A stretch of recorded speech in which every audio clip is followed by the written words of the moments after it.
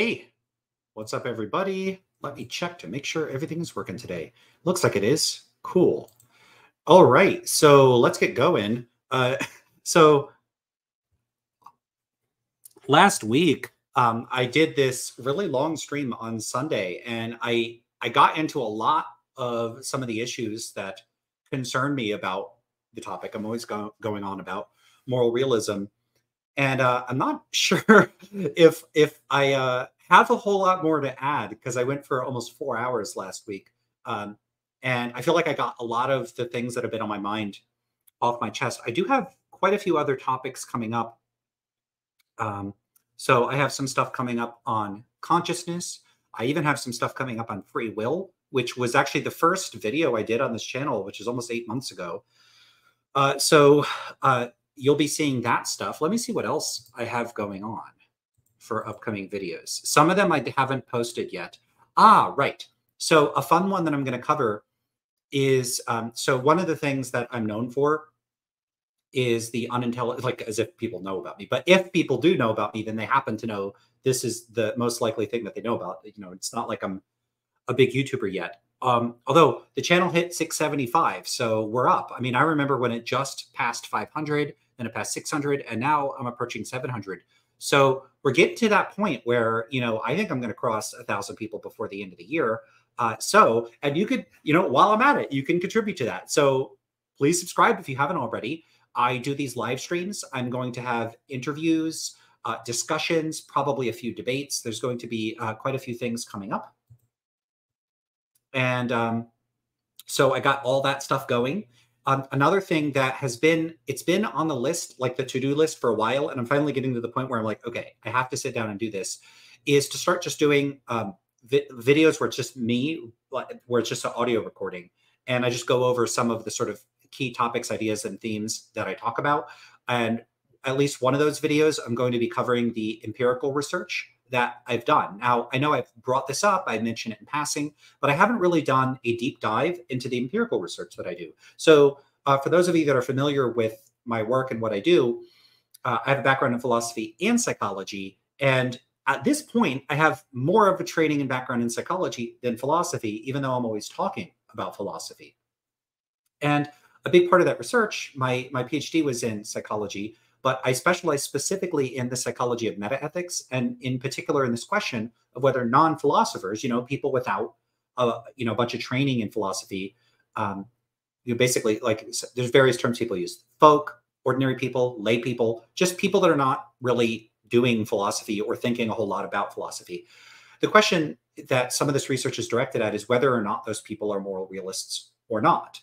And I argue that the answer is um, not, but in an interesting way. I don't think that people are anti realists. I think that they don't have any particular view at all. Now, that is not the reading that I've seen anybody take away from the empirical literature itself. There is a paper back from 2009 by a philosopher named Michael Gill who positions the proposal of meta ethical folk indeterminacy as a view that exists against the backdrop of a particular historical a, a, historical series of events within analytic philosophy. So you have this Anglophone tradition, you have this, it's a particular development within Western philosophy, predominantly um, that emerged in the United States, the UK, and the Anglophone world more generally, so like Canada, New Zealand, Australia.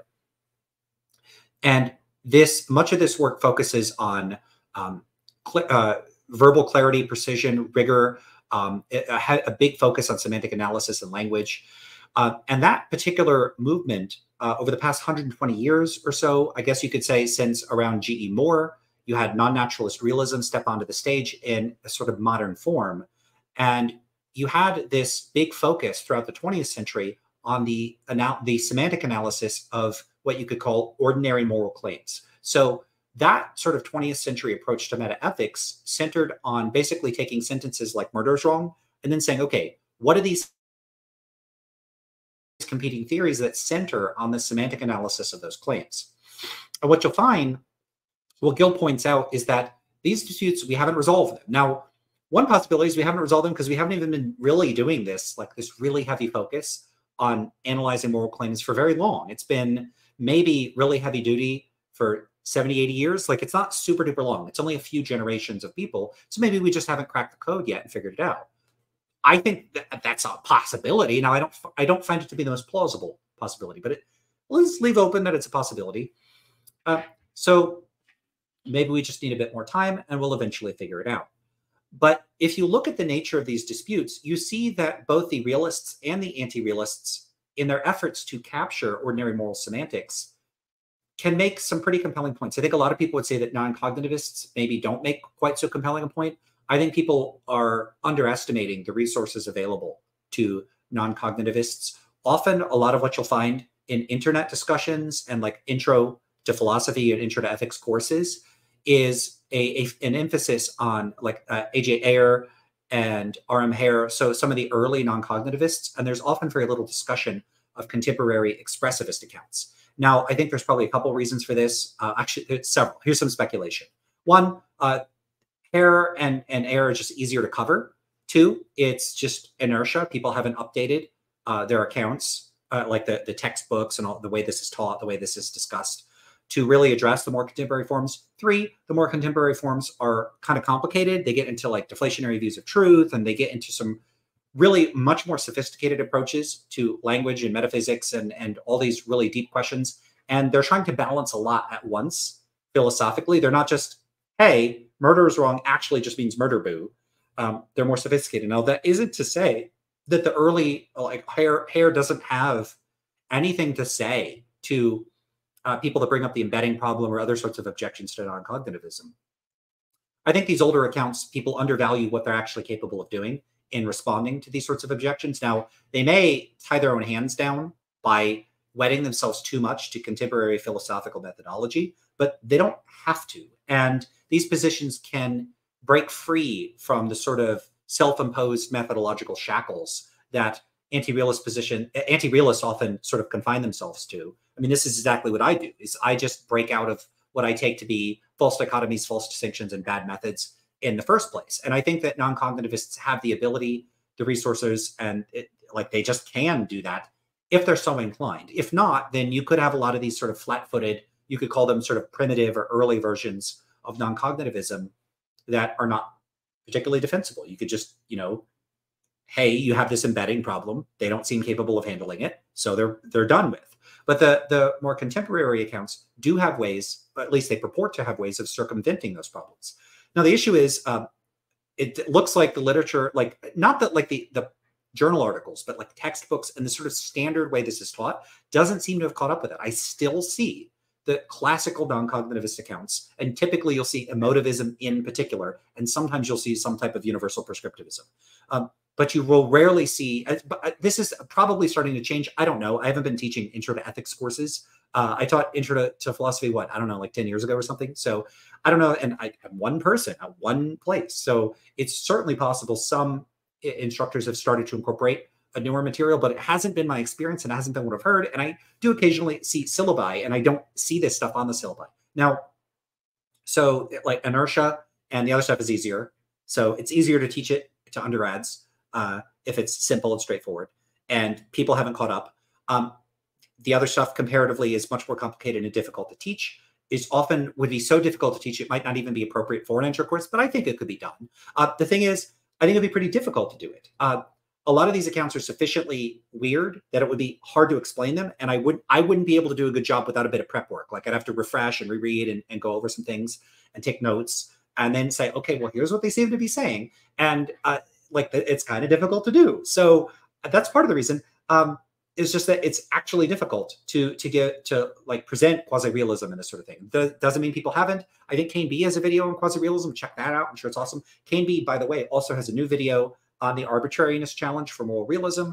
I listened to that this morning. I thought it was excellent. I start I jumped into the comments there. Uh, and so there's a lively discussion going on there right now. Uh, but another reason that people don't engage with these contemporary expressivist accounts. So actually, there's so many reasons. I, I don't know. I just felt like speculating about this, so why not? Uh, another reason is just those accounts actually can respond to these objections. And I think a lot of critics of anti-realist positions want easy targets. And so they just knock down easy targets. Now, they're not knocking down straw men because the, the positions that they're going after, emotivism, um, prescriptivism, that sort of thing, they're actually positions that people have endorsed and articulated and talked about. Uh, that does like it, it, it's like if there was like some imagine if if uh, critiques of theism only targeted the theological work of people that wrote theology in the 17 and 1800s and there's been all this work i'm sure there's been tons of work in the in the 1900s and more recent in the past 20 30 years and the people just didn't talk about it at all. You start to think huh maybe they're not going after better stuff. Like maybe the new stuff they're not going after it because it's harder to go after. And it's not just that it's more complicated but that it's not as easy to critique. Maybe it actually addresses their concerns you know?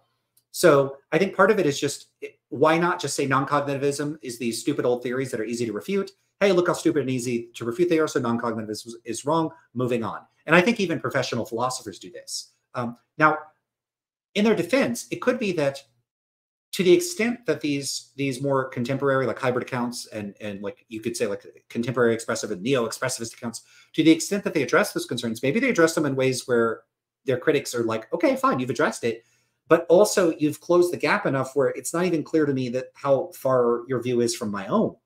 Uh, and if that's the case, then a lot of the realist and anti-realist positions are finding this sort of murky territory where they don't really hate each other so much. They're not so diametrically opposed. They just have sort of um, denominational differences that are maybe not so stark as to prompt revulsion. Uh, I don't know how much philosophy is driven by revulsion, but um, I, that's for me. That's part of why I don't like them. I think that they are a lot of these accounts are too conciliatory, and they are oh well, we have to capture the realist appearances of morality.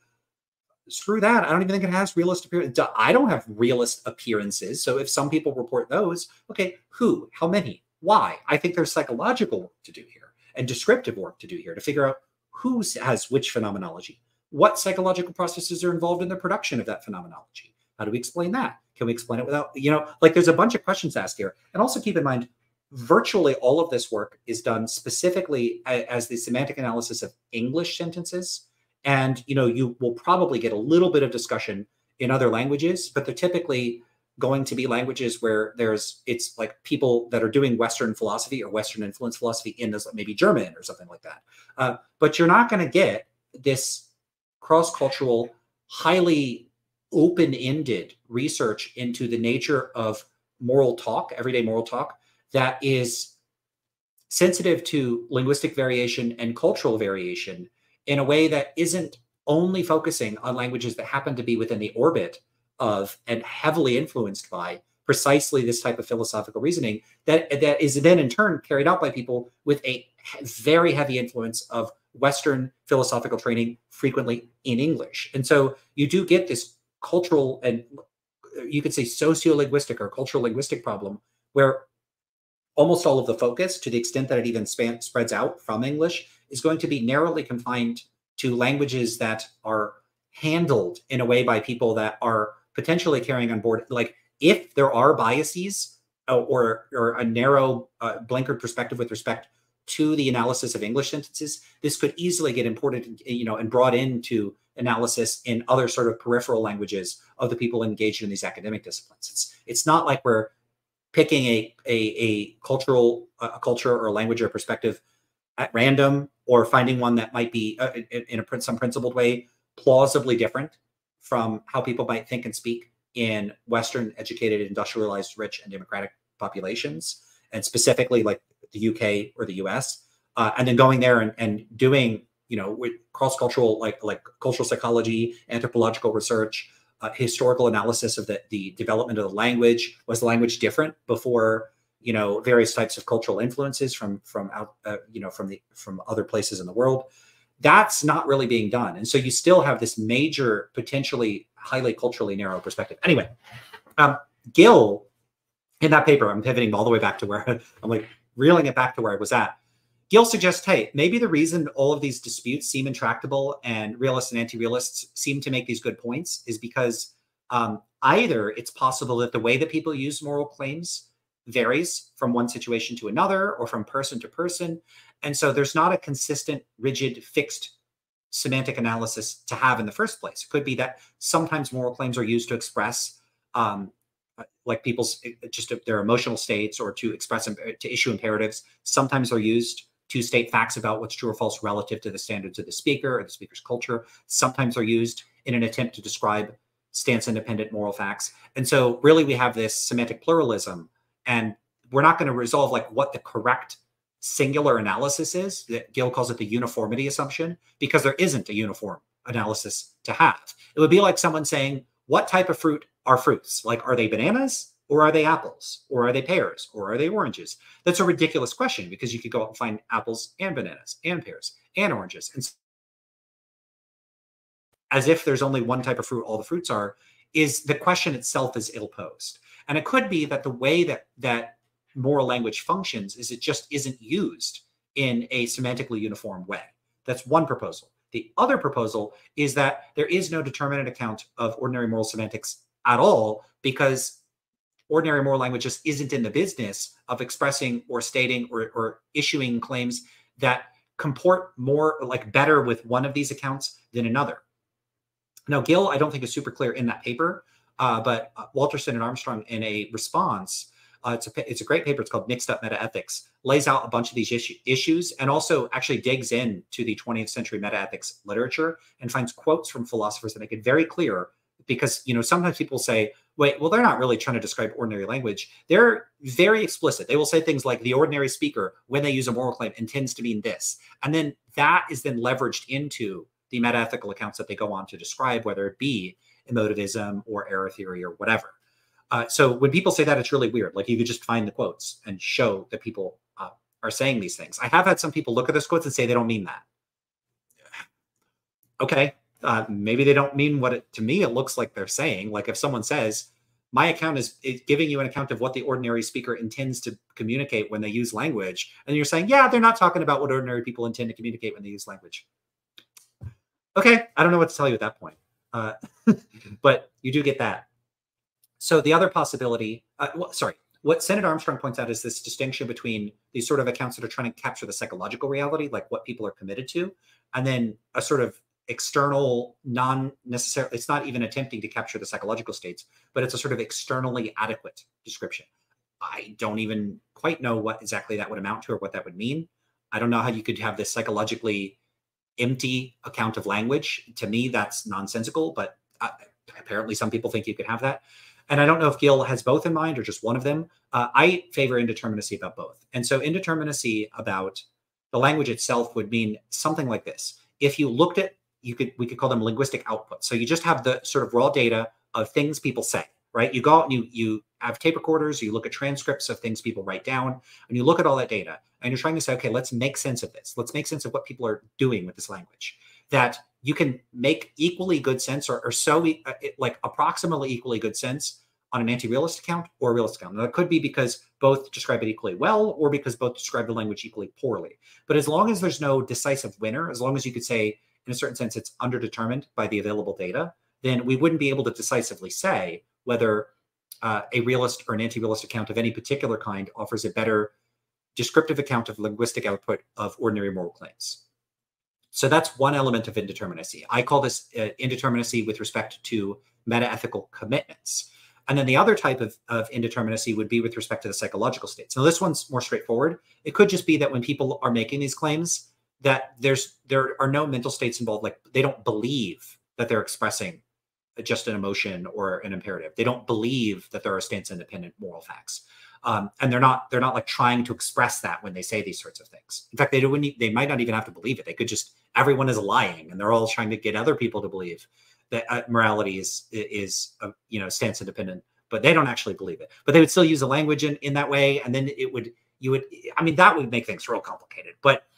The, the, just the point is if we're going to try to capture the psychological states themselves it could be that people just don't have any particular commitment one way or another um, you you know, the example I give is quantum mechanics example. If a person says, I think it's going to rain tomorrow, they don't have to have a Copenhagen or, or, or Bohm or, or many worlds interpretation of quantum mechanics. The example that Gill gives in the paper, and many of you have heard this already, is uh, mathematical Platonism. So if someone say, you know, kids in a class and they're like two plus two equals four, they don't have to be a Platonist or an anti-Platonist about mathematics. You don't need either of those.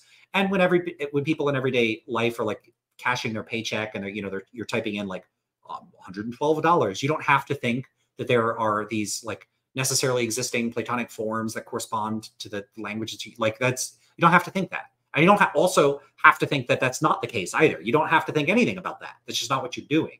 Uh, and so Gill suggests that moral language may be used that way. Now, that paper came out in 2009. There had already been a few papers out. So Goodwin and Darley have the most important paper on this, um, it, important sort of historically in terms of getting the ball rolling in this research. That was 2008. I think it might be mentioned. I don't know which papers were mentioned in the, the footnotes, but Gill seems to think that the empirical literature is relevant. And so Gill at least seems to regard these as empirical questions. And then so do I. And so you can kind of have this conditional thing. Like, look, if claims about the meaning of ordinary moral claims are, the, are not empirical claims, like they're not claims about the psychological states of speakers or some other type of empirical claim, I, I don't know what kind of claims they are. Like, are these analytic claims? And then we're supposed to engage the correct account of what a moral claim is. Uh, and so, like, could just be that a moral claim just is a claim about what stance independently true. I don't know how to address. I don't even.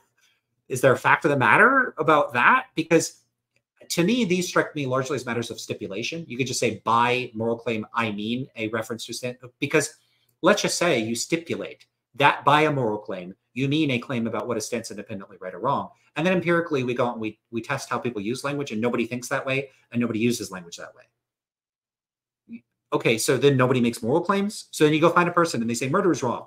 Then another person goes, I disagree with you. I think murder is sometimes acceptable under these circumstances. And the other person goes, ah, but have you considered this normative principle? And the other person goes, huh, okay.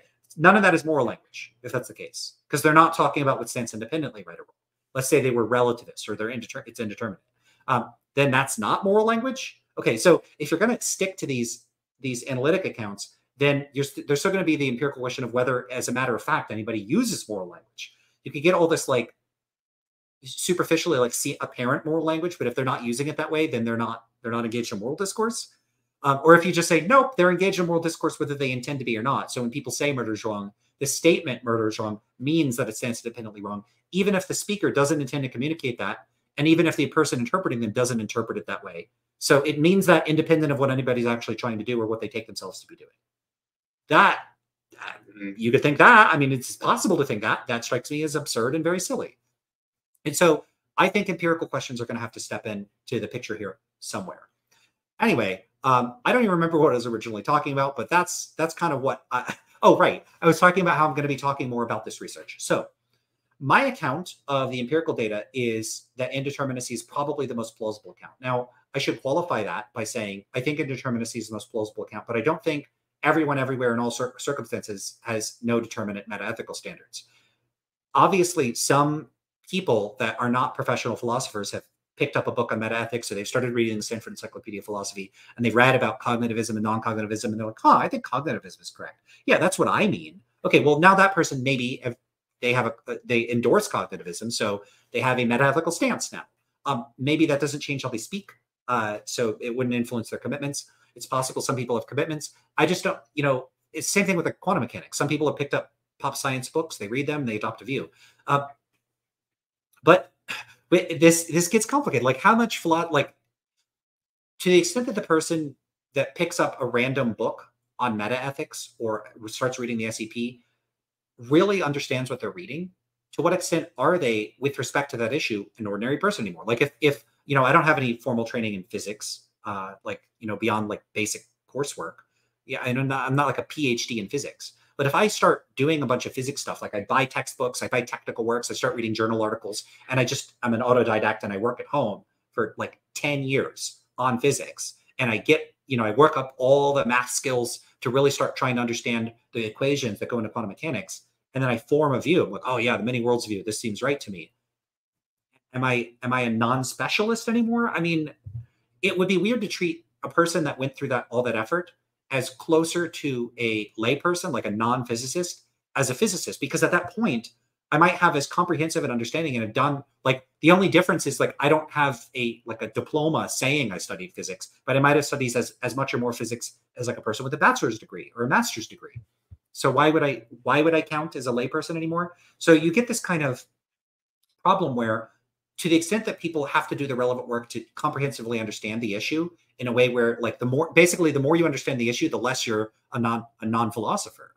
And so it I, my view is basically that that problem is such a significant problem for metaethics that it's not clear to me that unless you could show that people have inchoate metaethical stances or commitments without formal training, um, I think the most plausible explanation of the of the available empir- empirical literature is that they don't have views on these these um, positions. They don't have commitments on these positions. There's no need to posit realism or anti-realism to make sense of ordinary moral language and um, there's no psycholo- like there's no compelling psychological data that people decisively favor realism or anti-realism a lot of the uh, so what i want to get into when i do videos on this is to explore some of the, the sort of major works and i want to do more of a deep dive and get into more detail about specific papers so i want to go through the goodwin and darley paper i want to go through the alternative paradigms now part of the reason i'm mentioning this is because i did two recent interviews i posted both of them in the community section um,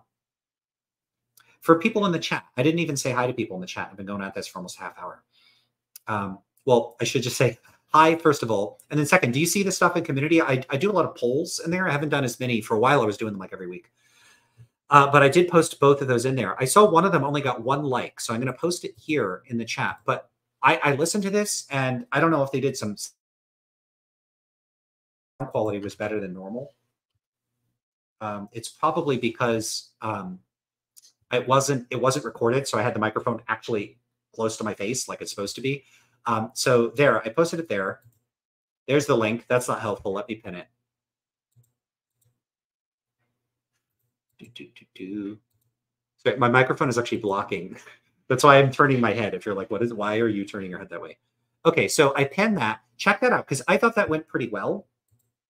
And what I do in that and the interview on Majesty of Reason, both of them are good for different reasons. At least I think they're good.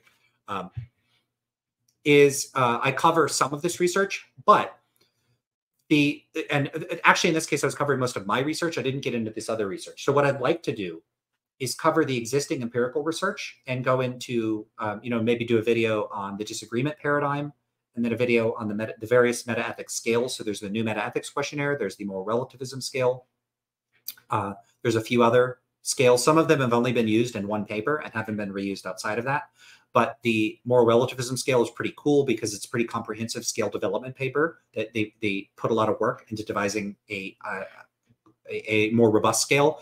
It focuses specifically on measuring moral relativism, which is interesting. Uh, but there are other scales that look at a broader range of meta-ethical categories and distinctions. So I want to get into that research. And what I want to get into that research like the purpose of that is to show you there's there's now like when I started this, it was 2012. Uh, there wasn't that much research, and if you look at like by the years, um, the the papers that have come out, like you'll see in those years you would get five papers, and then these years you're getting many more papers than that, and very quickly it wasn't just myself, but other people in the field, James Beebe, um, uh, Jennifer Wright, uh, and uh, Thomas Pölzler uh, they have all noticed that there are methodological concerns in the empirical literature, and they have worked to identify and respond to and divide and like improve the existing paradigms or propose new paradigms or, or new measures and that sort of thing to circumvent or mitigate some of the methodological problems. So something that really I like about this literature is that from very early on, people were um, besides just me and this is part of what motivated me and encouraged me to like be oh wow other people are working on this like it, it, got me interested in these methodological questions so the purpose of going through this empirical literature is not just to, to tell you hey hey here's why the empirical literature is wrong the thing with a lot of these studies is that the original intent behind the paradigms is great um, many of the studies are actually quite well designed relative to paradigms outside the field uh, third the questions that we're trying to, to ask with a lot of these paradigms are much more difficult than it is to like ask people if they like pizza or something. Um, and so when I critique these measures, it's not because I think that this is bad research. It's because these questions are really, really hard. And in showing you the methodological limitations of some of these early studies, what I want to show is that this is the kind of uh, it, it's not so easy to find out if people are realists or anti-realists. And one of the things I find immensely frustrating about discussions about this topic is that people will report anecdotes. Well, most of my friends are realists. It seems to me that everyone's a realist. If psychological questions were that easy to answer, we wouldn't need to be doing experimental psychology. And already we know uh, most studies in psychology don't appear to replicate. And uh, this would almost certainly apply to uh, broad areas of research in the vicinity of, of what I do. Um, you know, it certainly applies to social psychology more broadly. Now, there was a replication project for experimental philosophy, and it had a better replication rate. Um, but you know, I, I'm still. I mean, it wasn't perfect. It wasn't 95% replicated. Um, so, in fact, I think there was one of the folk metaethics papers in there, and it did replicate. So, use. I think it used the disagreement paradigm. One particular version of it. I think it was a, a, a Likert scale version, and not a categorical multiple choice version. Um, I think it was the folk moral relativist paper. I'd have to check. I think that's the one that they replicated, and I think it replicated just fine. Like it wasn't like on the fence or with a really minimal, like really tiny effect size or something like that. I think it did just fine. Uh, but you know, that's one replication. There's not a lot of replications in this area, so I'd like to see what happens if there's more replication research. Anyway, just the point is, it has been incredibly difficult just to construct well-designed, replicable, high-quality psychological research that gives you good a good quantitative analysis of, for instance, the U.S. population. Even you, even with people specially trained to do this, it's still hard to make solid inferences about the about the uh, you know the size of a particular effect, whether or not there is a particular effect, where this effect occurs, the circumstances in which it occurs. The questions in psychology uh, that people, I think, people outside of psychology, they often think uh, that it's easy to address these questions anecdotally or from the armchair or just by going on your experiences. It is not easy. And, and like the empirical tools available to us. Uh, so this idea that people could just say, yeah, I, most of my friends are realists. It's really plausible to me that people are realists. I think this is based on um, it, it, fails to appreciate how difficult it is to actually answer questions and to actually get good data on on this sort of thing. Um, you know, you could just anecdotes for psychological questions are just not very good. And this isn't even getting into how culturally and linguistically um, narrow a lot of people's personal experiences are going to be. Uh, a lot of people are only going to speak. I mean, most most people aren't speaking all six thousand, whatever seven thousand languages there are in the world. And you know, look, if you spoke a thousand and you talked to hundreds of people in a thousand languages and they all sounded like moral realists to you, fine. Nobody has ever done that. That's not what people's experiences are like. People's experiences are giving them this sliver within a sliver within a sliver of the human experience. And for them to extrapolate from that, when we reliably feel like my point here is whatever your unsystematically gathered, questionable memories of your personal experiences through self-selected, eh, you know, not randomly assigned, um, uh, you know, people that you've interacted with using non-systematic methods that were not specifically designed to solicit their actual metaethical views, using all that, you think that the people you spoke to or interacted with were realists or were anti-realists you're going to eh, generalize from those experiences to everyone in the world when we we know that if I surveyed a thousand people in the U.S., that wouldn't be good enough to generalize to people in the world. But your personal experiences are somehow good enough. It's uh, there's not a eh, like it's not reasonable. It's it's not that's not the reality of how psychology is. Even if I surveyed a thousand people in the U.S., that's not going to tell me how people around the world think in general. It's not generalizable, and that's because we now know that people in the United States psychologically differ in systematic, reliable, detectable ways from people from outside the United States. We already know this. So why would your experiences in Utah or Florida or wherever tell you about people all over the world? It's just, but maybe people don't, you know, people don't know this. Um, and so I, I, what I want to do in getting into this literature is to show look these are tough questions and just relying on anecdotes is not going to cut it it's just not it's not even close to cutting it like it's not even one you know i want to say a thousandth maybe it's more than a thousandth but it's less than a hundredth of the way to get into the answers here. Um, in doing this i also want to show this this research is pretty cool. It's, it's interesting research. It's you know at least i think it is and i think it's undervalued. There's not a lot of people doing this research and i think by digging into this research you could learn a lot that could be um, transported over to other areas of psychological research because of this focus on methodology. So I want to talk about the Goodwin and Darley stuff, the disagreement paradigm, the different meta ethics skills, and a variety of newer paradigms. So there's this really cool one that takes these three thought experiments from Enoch that uh, Enoch's a moral realist that's supposed to show pe- you that people are sort of implicitly, intuitively disposed towards realism. It's it's a cool paper. Uh, I do critique it. I critique it. You know, I, I don't think that the paper supports the conclusion that most people are realists, even though the author argues that it does. But it's cool paper, um, and it's it's worth having a look at. So I want to get into all that stuff so you could see, um, start to see where I'm coming from when I say that I don't think that people have determinate views. Now, part of the reason why has to do with my my research, which is a sort of response to that literature. And what I do is I engage in some quantitative and some qualitative. It's I use both to assess how participants interpret those questions. And what I find is that the participants do not interpret those questions in the way that the, the people that design those questions intended for them to interpret them. They don't typically interpret questions about moral realism and anti-realism to be questions about moral realism and anti-realism. Um, and if that's the case, then the measures are not valid. And if you have a large portion of your sample doesn't interpret the question the way you intended, you don't now whatever variation you get, you don't know whether it can be attributed to differences in their interpretations or or differences in the actual measures that you're intending to measure. It'd be like if you were trying to average out a thousand thermometers, but we discover like 60% of the thermometers are inaccurate and we don't know which 60%, something like that. Like, what are you going to do? Like average out you, you none of the data is good if a lot of it isn't good enough. Now, if you could isolate subsets of the data, that would be one thing. And to a certain extent, you could. It's not like I, I know 60% of participants didn't interpret the studies as intended, and then I don't know which 60%. I could tell you, I think these ones didn't interpret it as intended, and I think these ones did. And then there's a big chunk of that I'm not sure about, and it's not really possible to tell from a very limited slice of like a two sentence response. It, a lot of times you can't judge. Like, did they, is it clear that they didn't interpret it as intended? No, you don't know. Um, so a lot of times the best answer is, I don't know, maybe they did, maybe they didn't. Uh, and that's actually probably the majority of participants in, in many of the measures. Anyway, um, if if you have this large portion that didn't interpret it as intended, and you want to say, okay, well, let's just analyze the data and remove all them, um, you're going to have other empirical problems. Uh, so one of these problems is that you could end up getting a bias towards people and the concepts as intended than people that don't.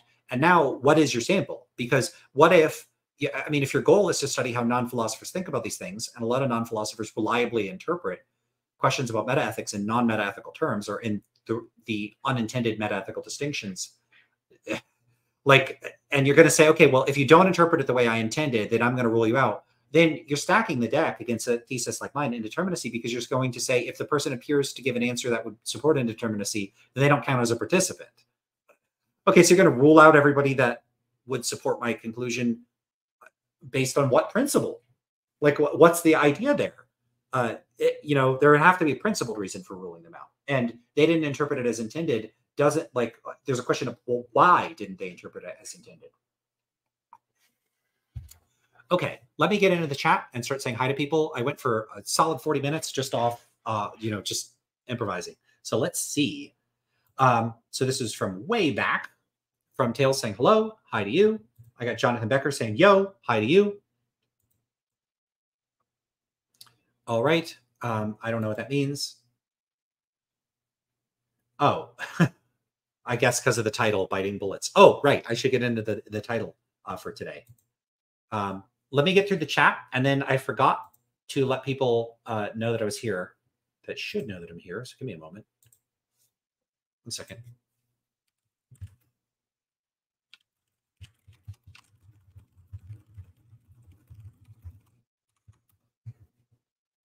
Okay. Um, all right. So Jonathan Becker says, I don't hate the bullet biting language, but I do hate the implication from some that I have to keep biting bullets. Like I start each conversation about realism by taking damage, anti-realism debuff. Debuff. Yeah. this is me thinking, um, well, I'm not going to get into that just yet. But yeah, debuff is like video game language.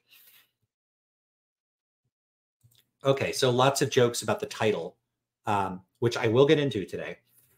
Sandels says, if anti-realism doesn't require bitering licorice bullets, I don't want to be an anti-realist. So I take it you. So I like licorice. I think it's a sort of thing. Whatever happened to licorice? I never hear about it anymore. Like when I was growing up, people talked about it like a, like a like butterscotch. Whatever happened to butterscotch?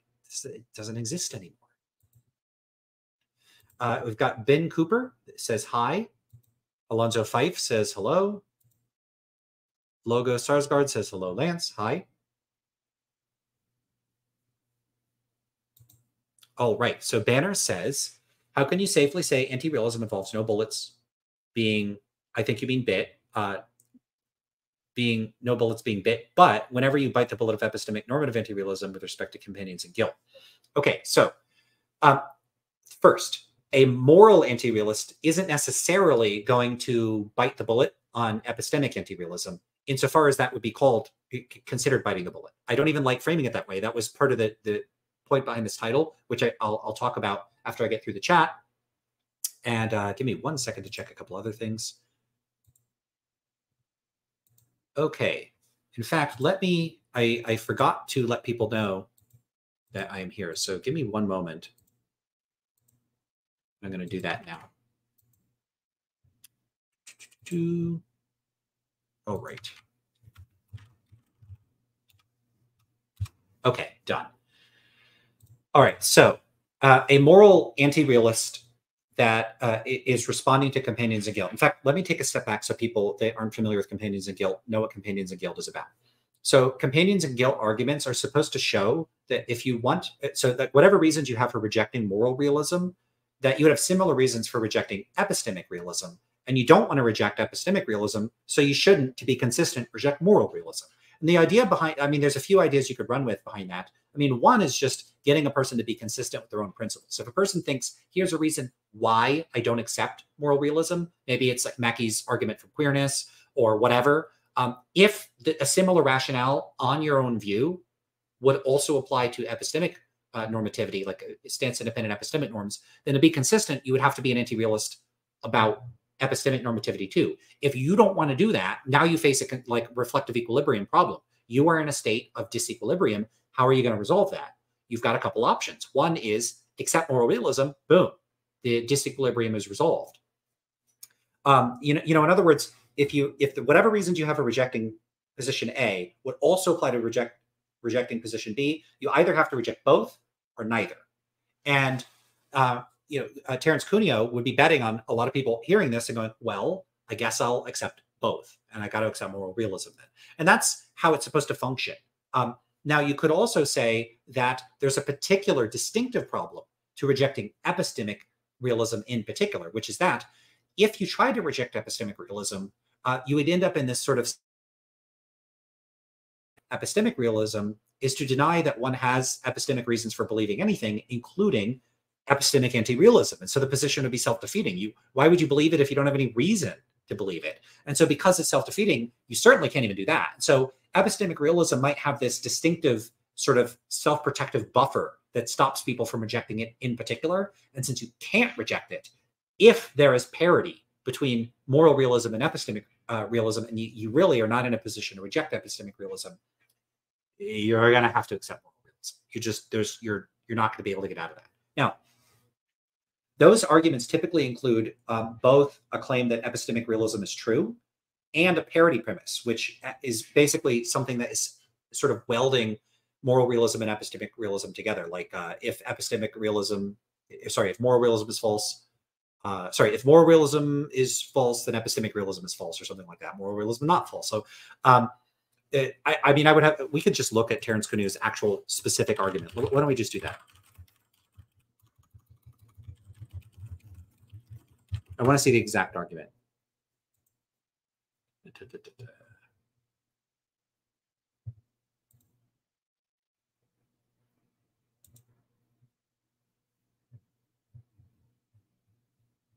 I'm looking for a formalization of the argument.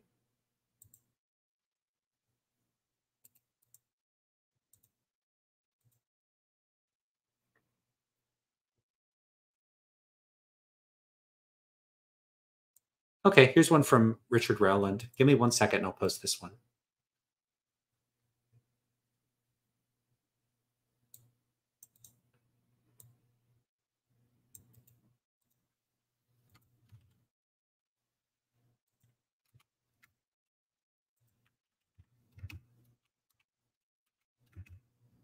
I feel like if I post that, it's going to mess up the alignment. Give me a second. Let's see. There we go. Okay, so here's the argument. According to the moral error theory, and yeah, I should say often this is depicted specifically as a uh, as a type of defensive move against error theory, which holds that all moral first order moral claims are systematically false. And so, in a certain sense, it could be regarded as a type of defensive move rather than an offensive move. So it's it's rebutting certain types of error theoretic accounts more so than it's necessarily making a positive case for realism. Although I think you could construe it that way and like go on the offense with this argument if you want to. Okay. One, according to the moral error theory, moral reasons are metaphysically problematic because they're categorically normative. Oh, and this is, in fact, the example that I gave of why you might be stuck with parity between the two. Um, but it doesn't have to be the only reason. In print, like there could be another reason why you reject moral realism.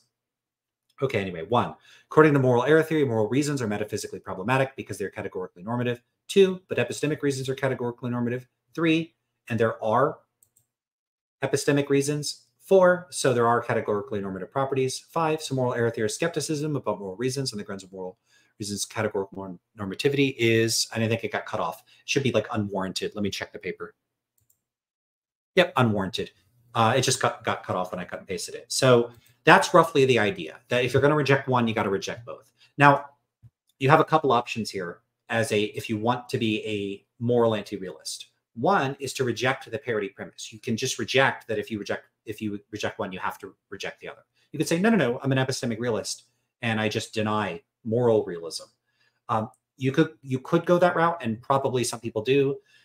Um, so that's one possibility. That's not the possi- That's not the one I go with. So before I ever even knew about arguments like this, I was already a normative anti-realist. I reject all stance-independent epistemic norms, or in this case, you could say um, categorical um, categorical normativity. It's I'm going to reject that too. So uh, it's like to the extent that they're even conceptually distinct. So if it's if they're distinct, fine, I reject both. So uh, I already rejected epistemic realism before I ever encountered these. So someone coming to me and saying, ah, but if you so think about it in my case, I'm an epistemic anti-realist and a moral anti-realist. And the first time I encounter this is someone goes, wait, if you reject moral realism, you also have to reject epistemic realism you wouldn't want to do that, would you? know, I, I already do. So this, it's like someone, you know, I've given this example before. It's like, I don't believe in Bigfoot. I don't believe in the Loch Ness monster. And it's like someone saying, wait, you don't believe in Bigfoot, but then you'd have to not believe in the Loch Ness monster. Like the cryptozoological evidence for both is, is on par. So if you reject one, you'd have to reject the other. Yeah, I reject both. Not a problem. I don't see it as a cost. So one way of avoiding the supposed bullet you'd have to bite uh, from a companions in guilt argument is to just reject one of the premises that would entail that there's parity between moral and epistemic reasons. The other one is to just reject both moral and epistemic realism. Now, what I specifically deny is that there is it not only do I deny that there's any bullet biting associated, at least in some non-relative way, with rejecting um, moral realism, I also. Someone wants to say that those bite bullets, they're going to have to convince me that there is a bullet to bite. Like, what are they talking about? Like, uh, it, I'm, I'm paying a theoretical cost. Theoretical cost is not endorsing a view that I think is completely ridiculous. That's not a cost. That's an advantage. I don't think that epistemic realism is remotely plausible. Now, if I thought it were intuitive and I put ev evidential weight on my intuitions, and then I had to override those intuitions in order to accept epistemic anti-realism, I would be paying some cost. I'd be holding a position that, from by my own lights, was counterintuitive but I don't consider epistemic realism counterintuitive. I don't consider it plausible. I don't think that there's, it's not just that I don't think that there's a good case for it. I don't think there's a halfway decent case for it. Like, I think it's a very implausible position. I think it's, it's not plausible. In fact, I think normative realist accounts are some of the least plausible positions in philosophy, at least as far as I know. Um, probably I don't know about most positions, but I don't find anything compelling or persuasive or appealing about these positions at all. There's nothing appealing about them. So what bullet am I biting? What's the what does that even mean? So I'm holding a position that's what? Contrary to what most current analytic philosophers think? Okay. Yeah, I acknowledge that. Who cares? I don't care. Like, uh, how is what is that supposed to mean to me? I, I don't particularly. Okay, cool, fine. Then most contemporary analytic philosophers have implausible views. I, or at least think implausible views are intuitive or have some merit, which I don't. I don't even grant that. So uh, I'll get into it more when I talk about the article that I wrote on this. Uh, but yeah, I don't. What's the bullet? If you think I'm biting a bullet, uh, can you explain what that means and why you think I'm biting a bullet? Okay. Uh, Savannah also adds hello, by the way. Yeah. Hi. Uh, Jonas or, or Jonas uh, Jensen says, uh, just joined. What did I miss? Uh, so I talked about my my interest in talking about uh, the psychology of metaethics and doing some videos on that, um, and also just responding to some some comments. Sandal says, "I love liquors. I think it's okay. I, I it's you know it's the kind of thing that I, I it's both the kind of thing that I think people would say it's love or hate, and I don't love it or hate it. It's it's for me it's okay. So I think it's not love or hate for everybody."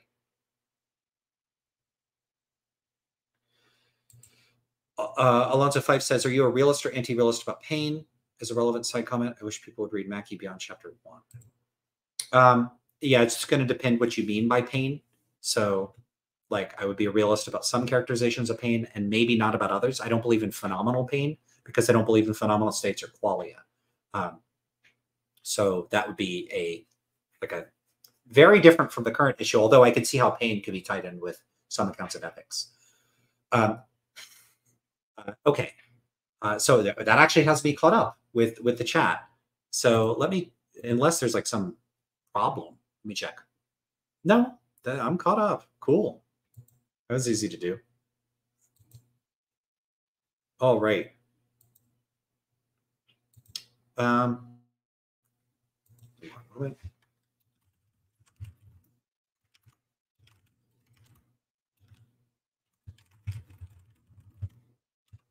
Okay, so I guess I could get into this topic a bit, and I could talk about this. So I'd written this article was almost a year ago called um, "Philosophers Misuse Biting the Bullet as Rhetorical Move." Um, let me see. Is it super long? No, it's not. Okay, so I'm just going to go through this article. All right, so I'll just read it. Why not? Sometimes I feel like doing that. Okay, here's what I say in that article. I really dislike the way that philosophers will say that a particular position involves biting the bullet. Such a remark is usually attributed to accepting some view that seems to pay some cost or to allow one to sacrifice plausibility for the sake of consistency. But many of the positions I endorse, which I am told involve biting the bullet, don't strike me as biting any bullets at all. They pay no theoretical costs and don't strike me as implausible. Indeed, that's part of the reason I endorse these positions. For instance, I reject uh, if I reject companions in guilt arguments on the grounds that I not only deny that there are stance independent moral facts, but also stance independent epistemic facts, I may be told that I am biting the bullet. It's very relevant to the question that was asked. Supposedly, also rejecting epistemic realism is some huge, implausible, deeply undesirable cost I have to pay to remain consistent. But not only do I deny epistemic realism, I also deny that it is a plausible, desirable, or more sensible position than epistemic anti realism, and so on. The problem is that philosophers posture as though there is some background agreement on which philosophical positions are more or less plausible or desirable or whatever, and that accepting certain positions is somehow implausible or a concession or a cost, and thus requires one to bite the bullet. This is complete nonsense. A person who endorses such views can also reject popular conceptions within the philosophical community about which positions are more or less plausible or desirable or theoretically costly. I think all forms of moral of normative realism are preposterous and obviously so. I would consider it a cost of my views if I did somehow have to accept epistemic realism to be consistent. Far from biting a bullet, I take rejecting epistemic realism to be an instance of spitting them out. I'd see myself as biting a bucket of bullets to even consider epistemic realism. From whose vantage point is my position the untenable one? The epistemic realists? I not only reject epistemic realism, I also reject that it's a plausible position in the first place. Realists are entitled to presume that their positions enjoy greater prima facie appeal. I deny that too. This bullet biting maneuver is often a method of shaming views, not seen as mainstream. It's a means of subtly enforcing conformity to an ostensible orthodox or mainstream philosophical position. And it does so in a way that is reminiscent of poisoning the well. Philosophers whose views hold preeminence within a given field, regardless of whether this is warranted, will cast a broad net, a kind of ambient background of approval and disapproval over a range of potential views, making it clear that the further one moves away from the mainstream orthodox view, the more one's views are radical or revisionary or require one to bite bullets. The implication here is that one should avoid such views, not because of the quality of the arguments for or against them, but merely because they've been discredited by a looming miasma of doubt fabricated by proponents of mainstream views. Uh, this is merely well poisoning on a mass scale that consists of preemptively discrediting any deviation from one's own views. Proponents of such views should not only ignore such aspersions, they should object to the framing of their positions as radical or revisionary and object to the claim that they're biting any bullets. So, no, I don't think moral anti realism involves biting any bullets. No, I don't think rejecting epistemic anti realism involves biting any bullets. And no, I don't think denying phenomenal consciousness exists involves biting any bullets. In all of these cases, I view the mainstream views, which hold these things to be intuitive or obvious or even self evident, to be predicated on conceptual confusions and errors, and to be rooted in many cases in views that seem to have ina- uh, inadequately engaged with empirical scientific findings that I take on reflection to render such views implausible or even unintelligible. For comparison, imagine we still hadn't figured out natural selection. One could imagine academic philosophers generally endorsing creationism and insisting that anyone who proposed a mundane, naturalistic explanation for how life on Earth changed over time and adapted to its environment was biting the bullet and endorsing a radical position. Yet, from our vantage point, there's nothing radical or bullet biting about endorsing natural selection as the primary mechanism of evolution. It's not just that natural selection is the best account, it's also that there's nothing radical or especially bullet biting about it. From my point of view, many of the philosophical positions I reject strike me as relying on the premature conclusion that empirical methods are inadequate to resolve or significantly inform and dissolve long-standing philosophical disputes. In the place of such methods, such views often seem to me to rely on dubious methods that are themselves inadequately informed by our best available knowledge of human psychology. These concessions not only strike me as premature, but look to me like viewing the world as a place riddled with mysteries, utterly inaccessible to the sciences. This strikes me as, if not outright magical, pretty damn close. And I don't think I'm biting any bullets or thinking anything radical when I deny the existence of magic. Until philosophers start summoning familiars or rediscover Descartes' Horcrux or some uh, uh, on some dusty shelf in the Vatican, I don't think there's anything radical about denying that there are non-natural properties or realms of Platonic objects far beyond the sky. Those of us who endorse views like moral anti-realism should stop conceding that we're biting any bullets. We're not.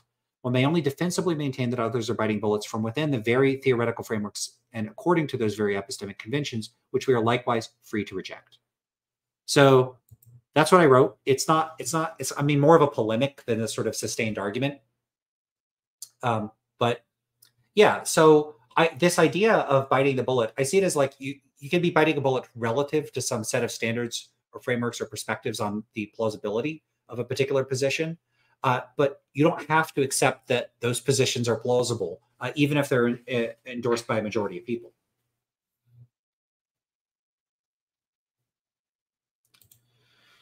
Um, well, I'll get to that in a second. So yeah, that's that's what I wrote at the time. I, I do think that this bullet biting stuff is honestly kind of silly. I don't know why. Oh, if you hold that view, you're biting the bullet. Who says I'm biting a bullet? How did you establish that? Uh, you know, I might agree, but I feel like that's the sort of thing that should be navigated intersubjectively. And I might agree that I'm biting a bullet with you, but at least in principle, I could also disagree that I'm biting a bullet with you. So if you're making a a sort of mundane descriptive claim, like you're saying, if someone says, "Hey, you're biting the bullet," and taking that position, if what they mean is you're taking a position that's very non-mainstream, it's like an unconventional view.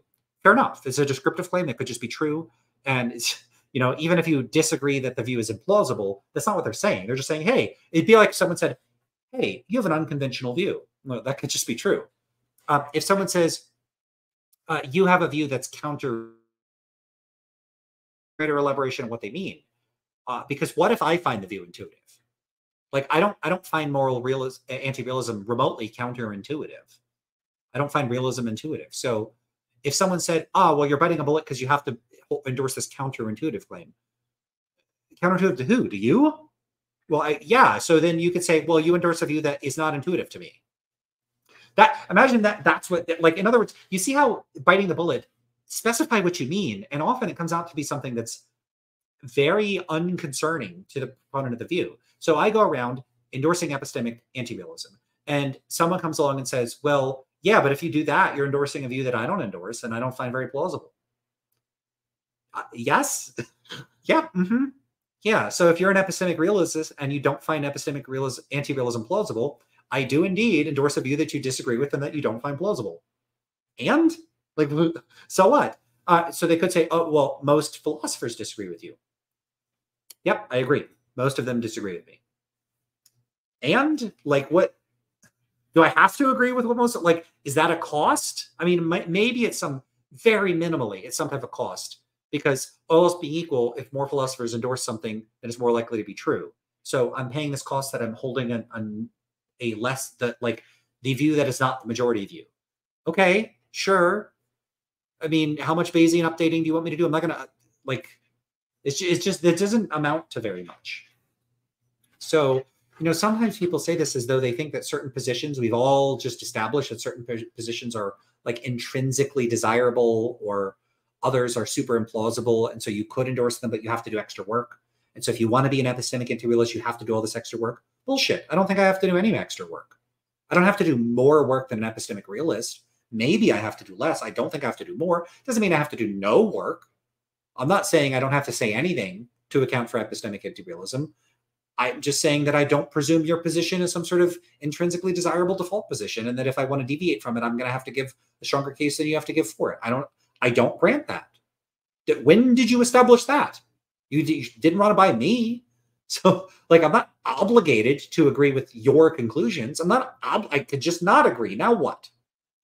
Uh, so there's just something weird about this. It looks, it looks like social coercion to me. And philosophers shouldn't be doing that. That's, that's ridiculous. Okay. So Moonsweater says, can you elaborate some of some on your views on epistemic realism? I don't know how much there is to elaborate on. So epistemic realism uh, so I guess here's one thing I could say. Sometimes people will say stuff like, well, if you reject epistemic realism, then you think there are no epistemic norms. This is a common misconception, both about moral realism and epistemic realism, and about um, epistemic realist and anti realist positions more generally. By moral anti realist, what I take that to mean is that I reject any accounts. I, I mean, technically, I don't even just reject all conceptions of moral realism. I have different views depending on the type of moral realism. The same would hold for epistemic realism. I view any account of moral realism to either um, include irreducible normativity, in which case I consider the position unintelligible, or exclude irreducible normativity, in which case I consider it trivial or false or both. Um, and these claims may include multiple theses, some of which could be false, some of which could be intelligible, uh, sorry, unintelligible, and some of which could be trivial. So these are not mutually exclusive categories, but this is the sort of Lance trilemma. I think all accounts of moral realism are trivial uh, and or false and or unintelligible, depending on the specific contents of the claim. Some people might say, well, it can't be unintelligible and false. Hold up. It could be that the position consists of the conjunction of this claim and this claim and this claim. And it could be that, like, if you take the conjunction as a whole, sure. If I think it's a component is unintelligible, maybe the whole thing is unintelligible. But I could say this claim taken in isolation that claim is unintelligible. But this other claim here, this claim is false. So, for example, and this isn't like speculative. So, um, a, a, common way of characterizing moral realism might be um, ordinary people's uh, speak as if there are stance independent moral facts, or they think that there are more like the ordinary, the, the correct account of ordinary moral language uh, involves um, the presumption of that there are stance independent moral facts. Like ordinary moral language purports to describe an objective moral reality. I think that claim is false. I think it's. I don't think that people are trying to do that. So that claim is false. Um, and then another claim that there is this stance independent objective, you know, realm of moral facts. That, depending on the type of realism, if it's non-natural realism, might be unintelligible. Uh, and so these are not these categories aren't mutually exclusive because the positions often consist of multiple claims, which you could in principle assess independently of one another. Uh, so that being said, um, why I reject any particular realist account will depend on the realist account. And then some of them are trivial in the sense that um, like I can agree that they're true, and it doesn't change my view about what reality is like or what I ought to do. They don't. They're not. They don't have any sort of a normative authority. They don't tell me what I should or shouldn't do in a way that actually makes any practical difference. Um, triviality, like what precisely is meant by that, it's a little hard to precisify. I do have a blog post I've been working on. It's kind of a longer one that's more work, so it's more of an essay-ish than like a you know a few paragraphs, where I cover what I have in mind by triviality. But basically, my view is that they're all trivial, false, or unintelligible. This would very likely get imported over to epistemic realism, where I had to sit down and think about it. If you're some type of epistemic naturalist and you think that, I mean, effectively, if you think that there are these certain sorts of natural facts that are just descriptions uh, of certain normative practices uh, that one could engage in, like certain ways of responding to data or something, and you're just saying, here's a way you could respond to data descriptively. Um, and those are the epistemic facts. Well, if there are ways you could respond to the data, then the epistemic facts would correspond to those facts. Um, so there would be epistemic facts, and you could say that there, these are stance like I didn't make them true by preferring them to be the case. And so boom, you've got these stance independent epistemic facts. Done. Okay, so epistemic realism is true. Okay, now does that do anything to me? Like, do I have to think in terms like? Uh, no, I could just not use those those standards. So it would be subject to this triviality concern. Otherwise, it might just be that you failed to describe things accurately, in which case it would be false. Or it could be that you insist on this irreducible epistemic normativity, in which case I would be concerned that the position is unintelligible. Um, now, one common misconception, and this comes up with with both of the accounts, uh, both of these views, and this is a really silly one, is people will say, okay, well, if you're an epistem, if you're a moral anti-realist, then you don't believe in morality. This is this is just silly. Uh, what do you mean when you say I don't believe in morality? I don't believe in that there are stance like be specific, right? Be precise. I don't believe that there are stance independent moral facts. But that doesn't mean I don't believe people engage in moral judgment or have moral standards or have moral practices or that there are moral codes that people subscribe to or that different books articulate different moral values that people care about and live their lives according to those standards. Uh, like I believe in all of those things. So when you say I don't believe in morality, well, no, I just don't believe in this particular conception of morality. Um, I talked about this last week, but people make this mistake of thinking that if you don't believe in their particular account of a thing, then you don't believe in the thing. Um, you know, so this would be very weird. It'd be like, you know, if I insisted tables are magical, and then I say to you, "Hey, do you believe in tables?" And then you say, "Yeah," and I'm like, "Well, do you think the table's magical?" And you say, "No," and I go, "Okay, well then, because tables are magical by definition, then you don't believe in tables." Would would you accept that? Would you accept that you don't believe in tables because they're not magical? No, you'd say, "No, I do believe in tables. I don't agree with you about whether tables are magical or not." Same thing for morality. I do believe in morality. I just don't think morality involves irreducible normativity or stance independence. I just I don't think, but we can have morality without that. Uh, in fact, I don't think it's even difficult to have it. I think I have it right this very moment. Um, so, I, like, I don't have to accept your account of a thing, or else I think the thing doesn't exist. Your account of the thing could be wrong, and that's what I think is wrong. Your account is wrong. It doesn't mean you get to take the thing away from me uh, and say that I don't have it. I so it's something very weird.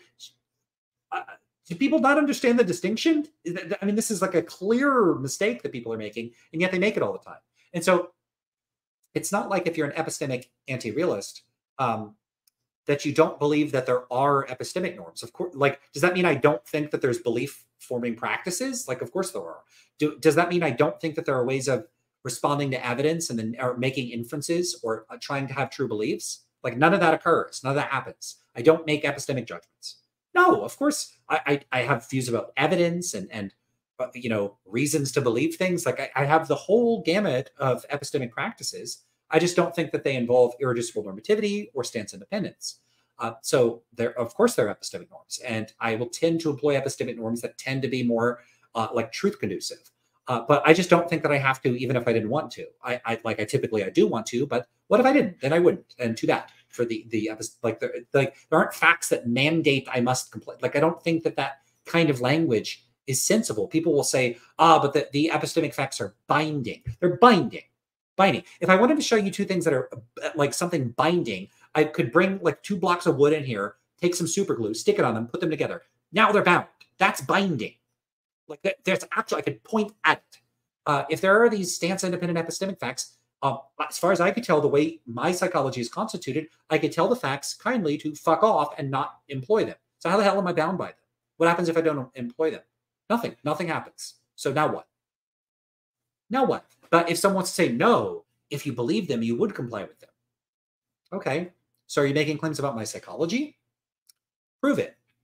Prove that I believe these things. If you convince me of a thing, that I must comply with it.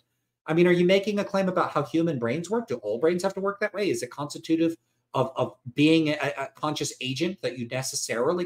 Like, you know, if you want to be a motivational internalist about this, then you could, would either need it, like, you could say, no, it's an analytic fact. I'm just saying that this is what an epistemic um, belief is. It just is something that's motivating. Um, okay, then demonstrate the. Uh, not, I mean, maybe a couple people have run studies on this, but it's it's not going to be anything very compelling. So that's one thing that people do. So they'll say that you don't you don't have um, epistemic norms if you don't believe. It. So rejecting epistemic realism means you reject stance independent epistemic norms. It doesn't mean you reject epistemic norms. And to be to be clear, I'm not saying when you ask this that you're assuming anything else. You asked me to elaborate. I'm elaborating. So I'm responding to things that people have said to me as recently as like yesterday. Um, not kidding about that. I've had some of these discussions yesterday, and they're fun discussions. I got you got along with the people having these conversations just fine. But um, part of the problem for this is that the Terence Cuneo formulation of the companions to guilt argument just drops stance independence, and it's like it just says, "Hey, if you don't believe moral facts exist, then you you you know you, are going to have to believe epistemic facts don't exist, but epistemic facts do exist." Well, hold up, hold up. An anti-realist doesn't not necessarily deny epistemic facts exist. They deny stance-independent epistemic facts exist. And in my case, I only specifically deny that irreducibly normative stance-independent epistemic facts exist. Like we got to be real specific. So that's a big mouthful. You're like, oh my god, okay, oh, oh, oh, yeah. I'm only specifically denying that there are irreducibly normative and stance-independent moral and epistemic facts.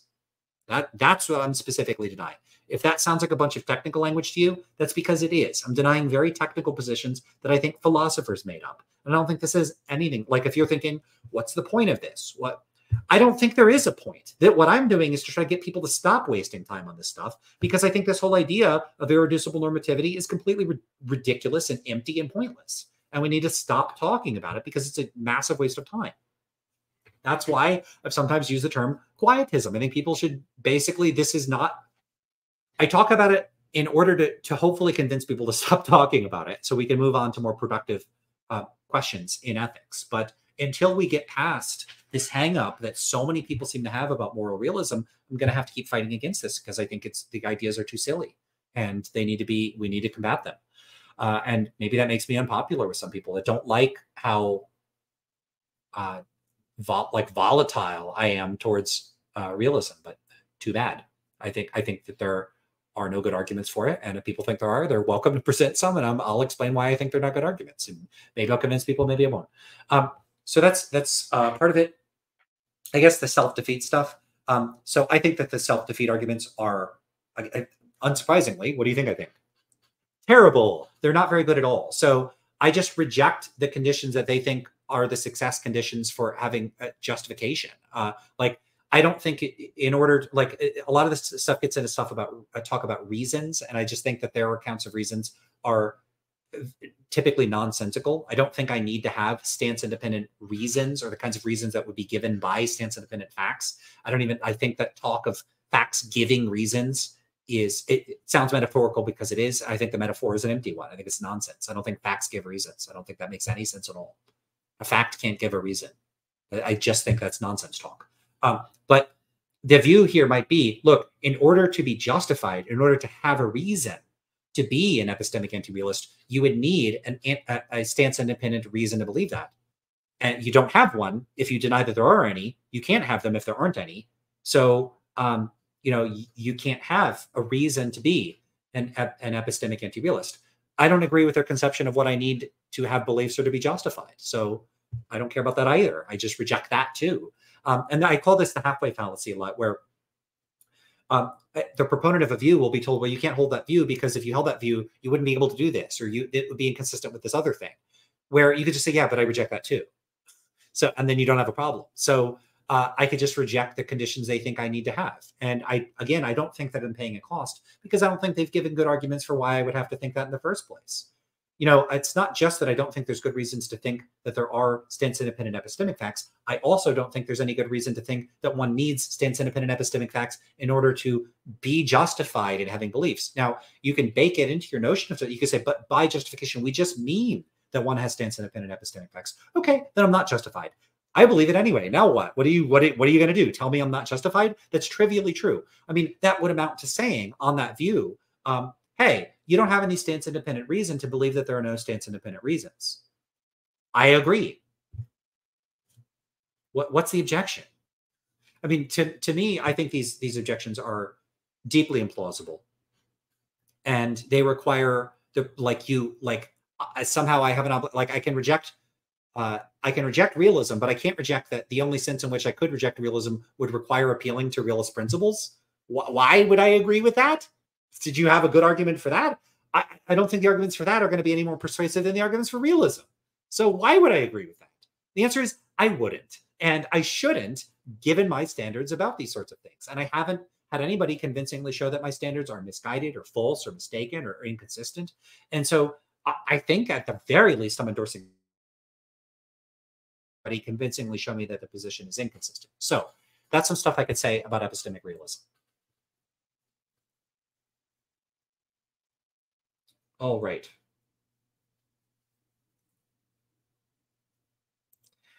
Do you think stuff like abstract objects are similarly unintelligible as stance independent moral facts? Not necessarily. I don't know that I have a huge problem with abstract objects. Um, I, I, think that sometimes people think that I'm just being an inconsistent skeptic and that I'm being extra skeptical of moral talk and epistemic talk. And I guess you could say normative talk in general, but not other talk. I don't think so. I, I don't have huge problems with. I, I mean, I'm not going to go in for a lot of metaphysics, but um, I, I don't think that you have to go, be like super skeptical of all of metaphysics to share with me my skepticism towards normative realism in particular. I think normative realism is uniquely weird in terms of how deeply implausible it is and how mysterious and bizarre and how the proponents of it are, are stuck in this constant situation where they either have to try to naturalize it and it ends up losing its special properties. It's sort of, you know, what Mackie might call objective prescriptivity, um, but people have called practical uh, oomph or clout or, or, or, authority. Some of these don't have to be the same things as one another, but it's supposed to to move us, to to guide us, to bind us. People use various sorts of language. Often that language is metaphorical, and I think it's metaphorical for a reason. When you can't clearly articulate what you mean, often you rely on metaphors. In some case, in some cases, it makes sense to say a metaphor for what? For what exactly? And I don't think realists can tell us. So I think that idea that there are these certain sorts of facts that we like must or we should like we it's it's normative like you ought to do it. And then if i you know if i ask what do you mean by ought? you can't tell me. Well i think we've got a problem there. Um, so and that's something that uh, might be worth talking about um, some of that. So uh, let me see if okay. Nope nobody uh, there. So um, let me ask in the chat, does anyone have any extra questions about all this stuff? So biting the bullet, um, if you disagree and you want to leave a comment, I'd be happy to read that comment. Just be respectful and polite. Uh, if you say a bunch of nasty stuff, I'm not gonna I'm not gonna post it. If you have questions for me that are related to the topics I'm talking about, um, please uh, throw those in the chat now. Uh, so basically, I'm going to do a final call for uh, reading comments and um, asking questions. And uh, then I'm going to take a quick break. I'm going to come back and then see if there's anything else I feel like talking about today. Um, and all right, so let's do that, and I will be back in a minute. I'm gonna I'm gonna get some um uh like like music to play. What's it called? An intermission music uh for for the future. I know I, I eventually got those intro and outro videos, but I'm gonna have to get some some new stuff to to spruce up the channel a bit. Okay, I'll be back in a couple minutes.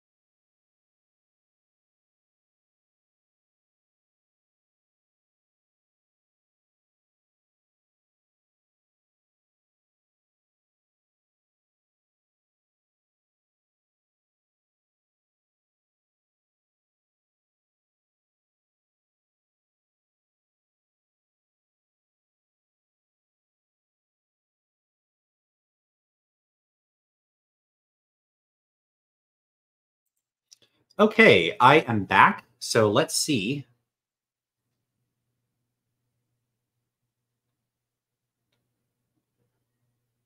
All right. So um, Jonas Jensen says, if and when metaethics is left in the bin, what kind of philosophical process would we argue normative ethics? So this is something that I've just uh, addressed a couple times in this channel, but not not very often. Um, so I see a lot negotiation. So if you abandon the idea that there's some sort of standards out there, independent of our goals and values that we ought to comply with, independent, you know, again, like there's like there's a there's a rule list out there. We got to figure out what's on the rule list, and then we got to follow the rules. That to me is the realist framework. Um, I don't see why we'd do that because let's say we find that list. For me, either the things on the list would tell me to do things that I already wanted to do anyway, in which case it's redundant. I'm already going to do them, or would tell me to do things that I don't want to do, in which case I won't do them, and I'm not even sure I could do them. My own view of psychology basically is that agents basically carry out or execute their goals or their desires and it like voluntary action more or less just is action that is goal directed. It's goal directed action. You act in accordance with your goals. Of course, there's involuntary action, the reflexes and that sort of thing. Um, or you know, you know, you could there could be like a compulsion, like mind control or something like that. But so long as you're voluntarily carrying out actions, you're acting in accordance with your goals. Um, and so if there's a moral fact, and uh, you know, this is why you know, if someone says the moral facts are necessarily motivating, fair enough. We could start talking about that. But then we're going to have to ask the question of whether human brains or the brains of agents just necessarily are constituted in a certain way, or as a contingent matter about human brains, if they're constituted in such a way that where if they believe something, they're necessarily motivated. That's a that, that's an empirical question, whether we in fact have brains constituted that way. Because you know, someone could say, okay, no, no, no, this is an this is an analytic claim. I'm claiming that for something to be a moral belief just is for it to necessarily be motivating. Fine. You could say that it's an analytic claim. Fine, not an empirical claim. You're just saying you're stipulating that that is what a, you don't even have to be stipulating. You say analytically, I figured this out. Okay, then it's possible that human psychology is structured in such a way where we don't have any necessarily motivating beliefs. In which case, then nobody has moral beliefs. So then, too bad. So you could say, ah, uh, all moral beliefs are necessarily motivating. Okay, then no humans have moral beliefs because we're not psychologically constituted that way. If you're going to be talking about humans, like humans, you're going to have to deal with empirical questions at some point if you're dealing with motivation. It's not avoidable. So uh, that that's going to be um, you know one sort of issue. Uh, if they want to be externalists about it, so we you know we have this list of rules. If it has things on it that um, I don't want to do, then as far as I can tell, I just won't do them, and I'm not sure I could do them because I I only do what I want to, and I don't want to do those things, so I won't do them. Now, if you want to say they're necessarily motivating, maybe I'm I'll be compelled. In which case, again, I'm not sure that we need to say that I should because I just will. So what is the should adding? Like if there's a list of rules where if I read the list and I believe what's on the list, I will do what's on the list. Why do you need to say I should do it? I, I am doing it. What, you know, so then that's an issue. And then let's just say they're an externalist, which I think probably most realists are. I'd have to check the data on that. Um, okay, so um, I don't have to do it. Like I'm not compelled to do it, and I don't want to do it. And so uh, it's this thing there, you know, on the list. I'm not automatically compelled. Uh, okay, then no, no thanks if if the moral facts don't align with what I want to do, and I'm not some sort of of agentic puppet that will necessarily conform with them, then no, thank you. I don't want to. So if the moral facts are stuff like scream at tables all days, all day, uh, and never drink water, only drink you know Gatorade or whatever, uh, I'll pass. And like as far as I can tell, okay, so let's say there are these moral facts, um, and I don't comply with them. What happens? Does does the universe, does the fabric of space and time tear open and swallow us all? No, nothing happens. There's no consequences. So if you don't want to do it, just don't. So like to hell with the moral facts. I don't care about them. So setting aside all that. So we throw it in the garbage bin, which is totally where it belongs. Just in fact, it doesn't even deserve to be in the garbage bin. We need to incinerate it. Just get rid of uh, moral realism as an idea. It's a bad idea. Uh, okay, so we got rid of moral realism. Um, it's not even left in the bin anymore. what do we do now? Okay, well, think about scenarios like this. You and a group of friends, um, you're sitting around, you feel like ordering pizzas. When you go about trying to figure out, you know, let's say there's 10 of you um, and you want to order pizza, are you trying to figure out what like the correct pizza toppings to get or like how many pizzas? What let's say you, you agree there's 10 of you, you're gonna get five pizzas. I don't know if that's reasonable or not. Um, You're going to get five pizzas. Are you like doing math? Ah, okay. Well, one of them's got to be mushroom, and you know, no. You start talking about what you want, and then you negotiate. Like, what's the thing that, like, well, if one person's allergic to olives, then maybe you don't get any olives on the pizzas, or uh, if you do, maybe just one for the people that, like, if another person's like, I love olives, I gotta have olives. Um, then give that person the, the olive pizza, but maybe don't put olives on all the pizzas because then that one person that's allergic isn't going to be able to, to eat any of them, and you don't want to be a jerk to your friend that has an allergy. Um, if you have vegans, then maybe you are going to minimize how much meat you're adding to the pizza. You might need a, like vegan cheese. So you're going to have all these questions where what you're doing is navigating what people want. And so morality can just be that at, a, at a, larger scale, you know, at, with greater stakes than uh, figuring out what to put on pizza. So, you know, navigate what you want. What kind of society do you want to live in?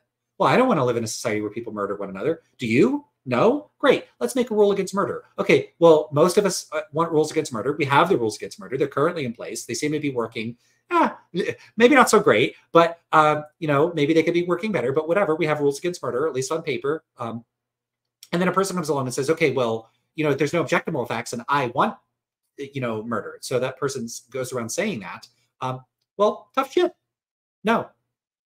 And then they say, "Oh, but there's no fact that that says that you know you're any more right than me you're anti-realists my moral opinions are just as valid as yours yeah no they're not who cares i don't care uh, i mean they're equally by valid what do you mean? Equally true? Like yeah you have your values. I have mine. I don't care about your values. I don't want them to be imposed on society. So no. So like basically i think we're already doing this. I don't think we need realism to navigate like rules about like hey there should be stop signs. There should be speed limits. We should have rules against murder and stealing. All of this stuff can be navigated without proposing that there are any stance independent moral facts. I don't think people are doing that anyway. So, what would we do? I think we would basically do what we're already doing, which is appeal to shared and intersubjective values of most people. And if most people happen to be awful, that's unfortunate if you don't have stance independent epistemic facts. Um, uh, too bad. Like I like that. If that's how reality is, that's how reality is. I mean, if it makes it like if you really really have values that you want to impose on everybody else or get people to agree with and they would be more likely to agree with them if you argue that realism is true maybe there's prudential reason to lie or try to deceive people i could see that but it's not going to make it true and if we encounter practical problems from rejecting realism uh, if they are significant enough, maybe that would be a reason for me to be some type of fictionalist or to start lying and saying I'm a realist. Do keep in mind that wouldn't make realism true. It would just make realism useful. You know, like a or it wouldn't even make realism useful. make belief in realism useful. Uh, so it might, and that could even just be a feature of humans. Maybe there's some, you know, non-human species where they don't need realism, and they're like, ah, the primitive humans need to have this mystical belief in facts telling them what to do. They need the list of stuff that's outside of themselves. Uh, but okay, so let's say we don't have that. Okay, I think things are fine. I don't think there's any problems. Um, I I know you're not suggesting explicitly that there's problems, but sometimes people will will seem to think that if you got rid of realism, like all hell would break loose. It would be chaos. We wouldn't know what to do. People would just start stabbing one another. I don't think any of that would happen. I don't think there's any bad consequences to rejecting realism. Keep in mind, I don't think most people are realists to begin with. And so I don't think you need a specifically anti realist conception of normative ethics to do normative ethics. You could just do normative ethics. So, uh, or just have institutions have normative principles and rules, you know, whatever ones you want. Uh, and if people seem to think that that would be chaos and cat- catastrophic, I think it more or less describes how it already is. I, I, I mean, is is it kind of chaotic and a little catastrophic? Yeah, could be better, uh, but I don't think it's going to be better by being realists. At least not much better. And I don't know that the costs of trying to convince everybody of realism would be worth it. I don't know what that would do. Uh, you know, the thing about realism is it's not like if you're a realist that everybody is going to believe what you believe the realist facts are. They're going to believe what they believe the realist facts are. Uh, and so, uh, with whatever, like, look, if we went through history, do you think most of the people that did horrible things in history were anti realists about morality? I don't think so. I think either they had no determinate position or if they, they could have been realists. Someone could be a realist and think killing all these people is great or something like that. So there's nothing inconsistent between being a moral realist and having awful normative moral views. I don't think it give, lends much of an edge to normative ethics and and like basically the practical questions that we engage in. So, I mean, this is a, this is another reason I don't think anti-realism bites any bullets. I don't think it carries the kinds of terrible consequences for practical theorizing and normative ethics and all these other sorts of things that I think moral anti-realists, sorry, moral realists often seem to think that it does or suggest that it does or imply that it does. I just don't think it carries these negative consequences. Okay, uh, that looks like the last question. I see no reason to carry on forever and ever. An hour and a half is good enough. So I think I'll wrap it up there. Um, I, I, feel like I could keep going, but ah, I think I'm good for today. All right. Uh, so thanks so much, everybody, for being here. And uh, I will see you all I, next week. I know I'm taking a break pretty soon, um, but I, have been at this for a while. But uh, yeah, whatever. I'll see you all next week and take care. And please leave comments. Um, check out that um, the video I did on the Duke channel. It's called uh, Duke Debates. Um, so check that out because it's an interview where I talk uh, more about my dissertation research. Um, and again, I will be getting into more of some of that research where I go into more detail, and that'll be probably individual episodes. I'll either throw that in the stream or do it in the middle of the week or something. So we'll see how how I end up doing it.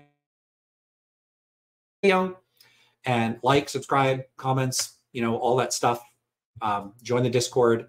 Uh, check the description because in the description I have ways that you can support the channel and all that good stuff. So yeah, all right. So I guess I'll see everybody uh, next week. Thanks so much. Uh, thanks so much for everybody being here, and I'll see y'all later. Take care.